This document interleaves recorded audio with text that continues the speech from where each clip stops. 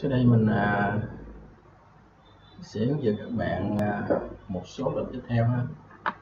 Đầu tiên là lệnh bond. À, những lệnh này nó khá đơn giản ha. Bond là một cái điểm dấu chấm thôi. À, B O ha. B O viết tắt chữ B, B phở chữ O ha. Bond. Rồi bấm vào đây. Rồi à, ở dòng đoạn nó hỏi là specify a bond cái là đấm không? mình bấm mình bấm là nó xong rồi đó. Nó chỉ là một dấu chấm thôi. Đấy, thì cái dấu chấm này ta giữ vẫn có thể truy bắt điểm được ha. Giả sử bấm lệnh like này enter và vô đường thẳng nè thì rơi vô tử chấm nè. Đó, thì nó hiện dấu chấm cái truy bắt điểm tức là not thấy không? Not not điểm. Dấu chấm. Thì trường hợp dấu chấm này trong cái lệnh uh, device và measure uh, lệnh uh, chia khoảng cách đó, thì nó có hiện kiểu dấu chấm này ha. Nhưng mà ở đây ta ít dùng rồi tiếp theo là lệnh ray lệnh ray là lệnh ờ, vẽ tia mặt trời. À, thì ờ, nó xác định là đầu tiên nó phải là specify star là điểm tâm của mặt trời thì bấm đây. À, nếu mình bấm F8 á, thì nó thẳng vậy mình không có di chuyển được. Là chế độ F8 như là chế độ auto mode mà nó on á, bật á, thì không chỉ được. Mà bấm F8 off này. off off di chuyển được ha thì mình bấm. Lúc này mình chỉ cần bấm điểm thôi bấm điểm bấm biển tự động nó xoay quanh giống như mặt trời vậy đó. Mà khi muốn kết thúc lệnh thì enter. Thì à, đặc điểm của cái lệnh ray này nó giống như lệnh là construction line là lệnh x line đó. đó. những cái đường thẳng này nằm ở vô cực. Đúng không? Nó vô cực hết. Mình ban cái nào nó cũng không hết được hết. Đó, lệnh ray. Cách vẽ đám mây ở trong AutoCAD thì à, cái đám mây này nó dùng để cho à, những cái người mà kiểm bản vẽ đó họ đánh dấu à, đánh dấu cái vùng mà cần điều chỉnh hay vùng cần à, ghi chú gì đó. À, à, à, thường là khoanh cái đường màu đỏ để cho cái cái à, cái người vẽ đó họ biết cái chỗ vị trí đó để sửa cho nó dễ ha. thì là nấm mây á là revision cloud viết tắt là REVC REVC thì revision cloud là enter thì uh, mình ờ, chỉ đơn giản là lúc mà hỏi là specify first corner bond thì bấm điểm. À, rồi mình kéo đi nè à, kéo đi nè. Kéo đi giống như hình hình chữ nhật vậy đó. À, bấm đi. Đó vậy là xong cái hình revision lao, nó giống như vậy đó tăng vậy đó. Rồi mình có thể chọn ở đây bấm vô raw nè cái mũi tên nhỏ nhỏ sổ xuống nè. Thì nó có cái chữ là reversion lao này à, mặt định là rectangular này không? Rectangle này đó này mình vẽ nè như một cái rectangle. Nha. Rồi tiếp theo là bấm draw raw ha. Mũi tên sổ xuống nè. Là body polygonal ha. Là hình uh, đa giác đều đa giác đều đó, thì bấm là kéo nè. Kéo tiếp nè kéo tiếp nè. Đó, đó. Rồi khi nào muốn đi chuyển cái thì cứ đi. Đó, đi đi. Còn muốn, muốn kết thúc lệnh bấm enter.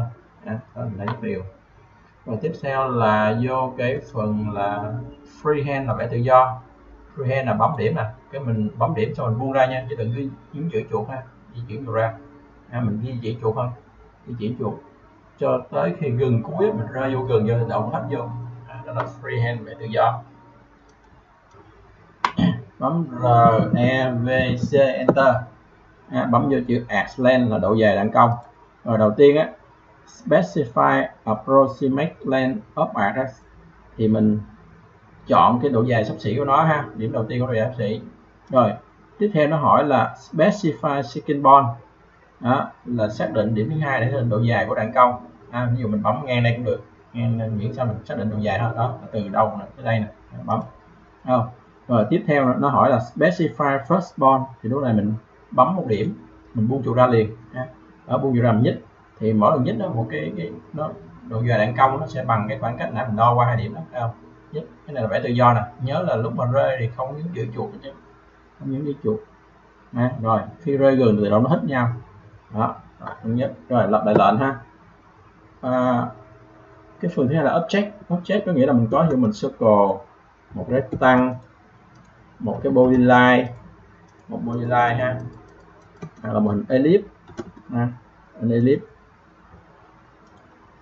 ellipse à, hoặc là một cái à, hình đa giác điều polygon BOL với số cạnh là BOL này số cạnh là 7 chẳng hạn vậy à, và bấm tâm ra enter. Đó ví dụ gì? Thì à, lệnh reversing là REVC à, mình chọn object á, thì nó sẽ biến một đối tượng bất kỳ thành một cái đám mây ha. Object này chọn nè. Thấy thành đám mây enter nè enter nè object này. Chọn này là đám mây thấy không? Enter này. Enter là lệnh này. Object này. Rồi chọn hết này. Chọn hết, nó chọn từng từng cái nó cho hết. Rồi lúc mình chọn xong, nó có hỏi một cái câu là reverse direction. Có nghĩa là cái hướng mà đạn công á, yes or no, thì mặc định là no. Đó, nếu mình trả lời yes nè yes nè, thì cái đạn công lật ngược qua, ha. Rồi tương tự, ha. Enter nè. Object nè. Rồi chọn đối tượng nè thấy không? Thì đợi đoạn biến hệ nó tăng. Rồi. Rồi, ngoài ra thì cái ờ, cái ờ, cái phần thứ ba thì nó giống ở trên ờ, phía mà cái tool tool ba mình đã chọn nãy nó tăng lên nè, chọn nè, thấy không? Rồi, tiếp tục enter lại lệnh nè. Polygonal nè, ha. Đó. Năm, sáu cạnh đó không? Giống ở trên ha, enter. Rồi, lập lại lệnh nè. Freehand là giống trên ha cũng vẽ tự do. Freehand vẽ tự do ha rồi enter lại lệnh nè. Style. Thì cái style này là nó nó nó có hai style. Mặc định là style normal ha. Yes nè revert nè. Rồi enter ha. Rồi style nè. Thì mặc định nó là style normal giờ mình uh, qua thử style calligraphy ha. Là gọi là kiểu thư pháp á. Thì nó coi sao ha. Bấm vô calligraphy nè rồi vẽ nè. Không? thì cái đám mây đã đẹp hơn. Nó có vẻ giống như nổi khói vậy đó ha. Nó có bóng giống như bóng độ nổi có vậy thì thường ghi chú đám mây này nó rõ và nó nổi có đẹp hơn ha rồi rồi lặp lại nha. Modify nè ha. chọn nè. Rồi vẽ neckbone ha cái lợi neckbone nè. Neckbone neckbone neckbone. Rồi sau khi chọn uh, nó đóng xong á nó hỏi mình nè pick a size of array nghĩa là chọn cái chỗ cần xóa. Thì mình chọn cái này, chỗ này thì nó xóa đi, nó giữ lại cái cũ này thôi. Rồi tiếp theo nó hỏi là revert direction, yes or no. Thì mặc định nó no, nếu bạn enter thì chấp nhận vậy. Còn mình không chấp nhận thì bấm no yes. Không? Thì nó đảo ngược lại enter. Ừ. rồi, đó là lệnh vẽ đám mây ha. Tiếp theo đây mình sẽ hướng dẫn các bạn à, lệnh helix lệnh helix là vẽ đường sáng ốc à, không có lỗi viết tắt ha mình gõ luôn là h e l i x enter. Ừ. H e l i x enter. Rồi đầu tiên nó hỏi tâm. Tâm của hình helix bấm tâm đây. Tiếp theo nó hỏi specify base radius có nghĩa là cái bán kính mà bán kính nền đó. bán kính nền chính là bán kính ở ngoài vòng ngoài của hình uh, của hình uh, xoắn ốc ha. Rồi tiếp theo nó hỏi là specify stop radius có nghĩa là vòng xoắn ở trong mình di chuyển ở trong này di chuyển trong. Tới một điểm bên nghĩ mình bấm cái. Ha. rồi. À, tại đây thì mình bấm enter là xong. À, là xong. Rồi lập mệnh lệnh helix á. Thay vì mình gõ helix mình bấm vào chữ raw này nè. À, nó có chữ nó có cái vòng xoắn ốc này không? rồi helix chính là cái vòng xoắn ốc. À. rồi. Cũng vậy ha điểm nền ha rồi bán kính ngoài ha, bán kính ngoài. Rồi di chuyển vô trong nè, bán kính trong. À. bấm cái. Rồi. Ở đây có cái chữ Jones Jones đây là số vòng ha. Jones bấm vô đây hoặc gọi chữ T cũng được ha. Bấm Jones số vòng. À. thì số vòng là 3 nè, mình tăng lên gấp đôi là 6 enter. Không? thì số vòng nó gấp đôi lên là 6 ha. rồi, tiếp theo là twist twist là sắn sắn à, bấm vô twist là xoắn này đó thì xoắn đây đó nó có hai kiểu. Kiểu mặc định hồi nãy giờ là mình là CCQ cũng như ngược chiều kia đồng hồ á.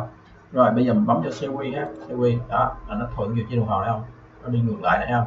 Còn nếu mà bấm twist nè bấm CCQ nè thì nó giống cái ban đầu này không? Nó xoắn ngược lại nha đó là lệnh uh, twist nha. rồi tiếp theo của hai lệnh con của nó thì ta phải vô chế độ 3D chế độ 3D rồi như sau. Bằng cách là bấm vào bánh răng cưa nè. À, bấm vào bánh cưa. Bấm vào 3D modeling nè ok. Rồi lên chỗ in uh, in cell view nè. Bấm vào đây để nó lên uh, cái góc nhìn là hình chiếu trục đo. Uh, tây nam southwest width ha isometric tây nam. rồi ta thấy cái vòng sáng không? Mặc dù mình nhìn thấy nó 2D thì đó là 3D ha. Rồi tiếp theo nè. Bấm lệnh nè. E L I X helix, enter. Đầu tiên là điểm bay nè. Bán kính vòng tròn lớn nhất nè, di chuyển vô nè. Bán kính vòng tròn nhỏ nhất nè. À. rồi, bây giờ tiếp theo hay mình di chuyển chuột lên không di chuyển chuột xuống nè. Không mình tiếp á, di chuyển lên, di chuyển xuống. Bấm điểm nữa là xong. Thì đây mình không bấm bấm vô axis and bond, axis and bond. Thì bắt đầu nó đổi trục. Nó đổi trục.